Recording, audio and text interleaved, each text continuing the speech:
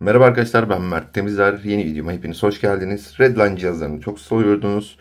IP70 Max ile daha doğrusu IP70 Max ile başlıyoruz. Allwinner R316 2 GB RAM 16 GB depolama. Kutu içeriğimize bakalım. Redline cihazımız görüntüsü bu şekilde. Sağ tarafta iki tane USB 2.0 bir adet microSD kart yuvası var. Arka tarafında Ethernet, adaptör, mini USB, HDMI ve AV portumuz var. Sol tarafı boş. Kutu içeriğine bakalım.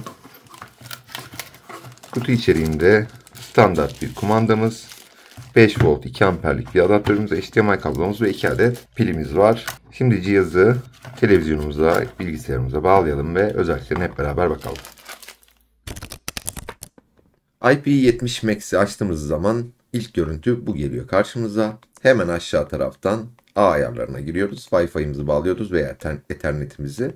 Üst tarafta önerilen uygulamalarda internet üzeri TV uygulamaları yer alıyor. Kendine özel bir App Store var ve bayağı kapsamlı bir App Store bu.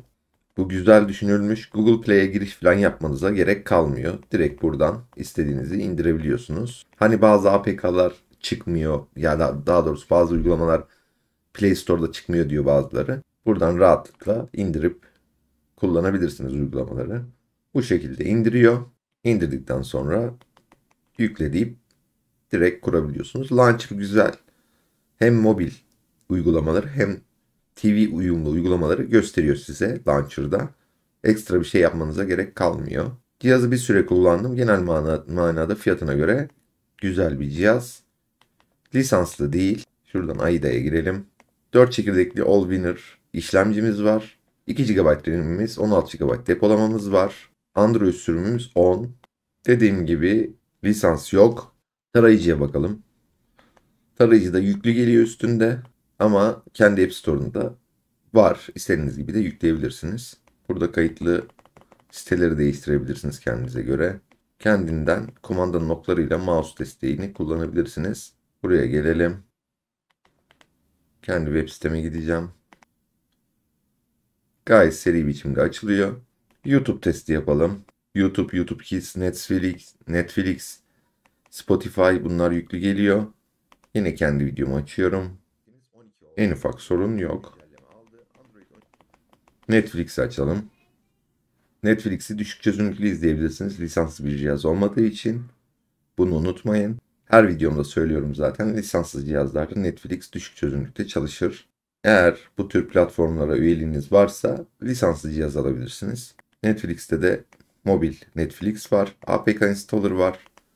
Teste girelim. İnternet testimizi yapalım. Wi-Fi ile 100 üzerinden 28 megabit hız alıyor.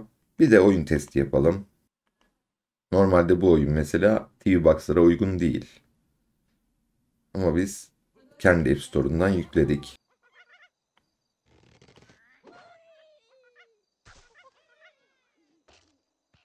Gayet de güzel oynanıyor.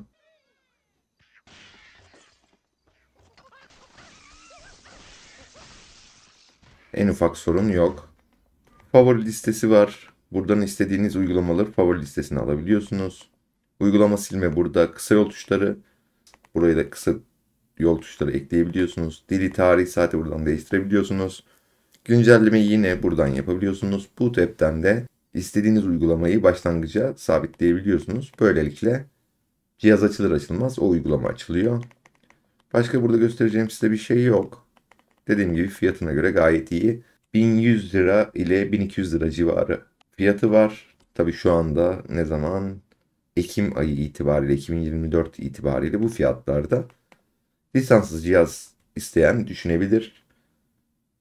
Ben dediğim gibi fiyatına göre performansını yeterli buldum. Beni izlediğiniz için teşekkür ederim. Kendinize iyi bakın. Allah'a emanet olun. Sonraki videomda görüşmek üzere.